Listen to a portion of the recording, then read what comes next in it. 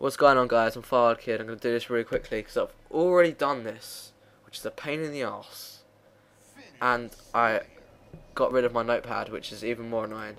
Anyway, yeah, I'm, uh, this is going to be episode 2 in the, um, episode 2, part 2 of the ranking system and what Halo 5 needs to do to be successful.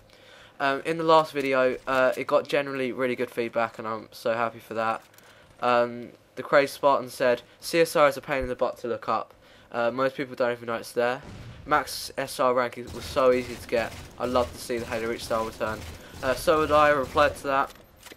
Uh, I would love to see that style uh, back as well. That was a good style. The um, as I said in the last video, it only took 24, uh, less than 24 game hours to get to SR 130, but what can you do really? Um, I would love to see Reach style return. Yes, so would I, man. Inheritor was very difficult to get. Um, the Troy Ginger posted a link and it said about quickcsr.com, and I did know that was there. I, personally, I've never used it. And I replied to him saying, "Oh, but only a quarter of the people actually use it." And he was like, "True, uh, the only reason why I use it is because me and my group of friends that I play Halo with always like to check each other's out. So that's good for competition, checking who's the better player, not who's played the most hours. That's obviously a very good thing.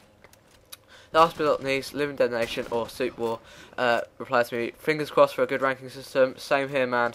I am dying for a good ranking system. If there isn't one, oh dear, poor Halo 5. Um, anyway, yeah. Um, so, in the last video I was talking about XP versus um, CSR rank.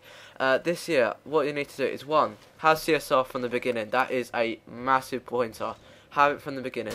Also, you need to have it visible. There's no point having it invisible because, like I said, only a few people knew at what where, what it actually was.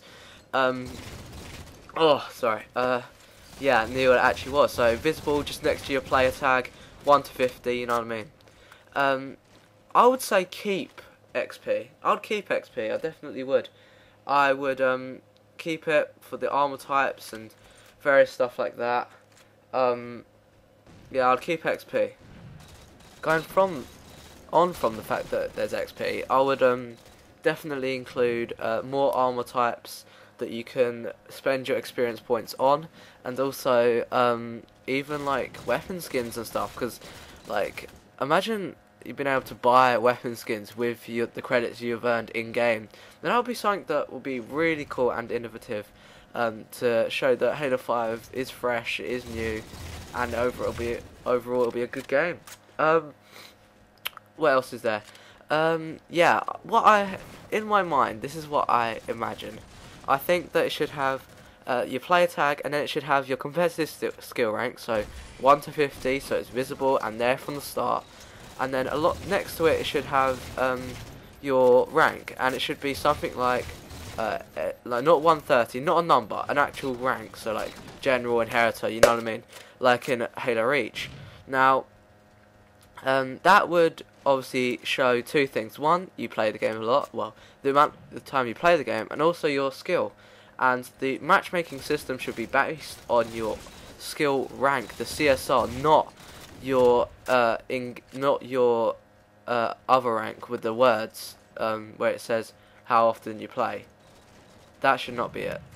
Um, sort of leading on from this, as I said about the armor and weapons, that is going to be my next topic in my uh, next video.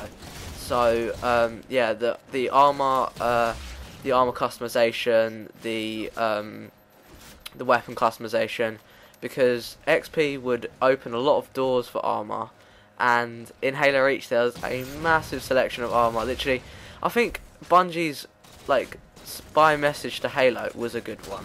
Literally, on reflection, Halo Reach was a good game, and um, it it was it was because the amount of customization you could get was pretty insane. Anyway, guys, that is the um, end of my ranting. Well, not really rant, but topic for this video. Um, leave your thoughts in the comments box below, and um, I hope you all have a very nice day, and um, I hope to catch you guys next time. Peace out.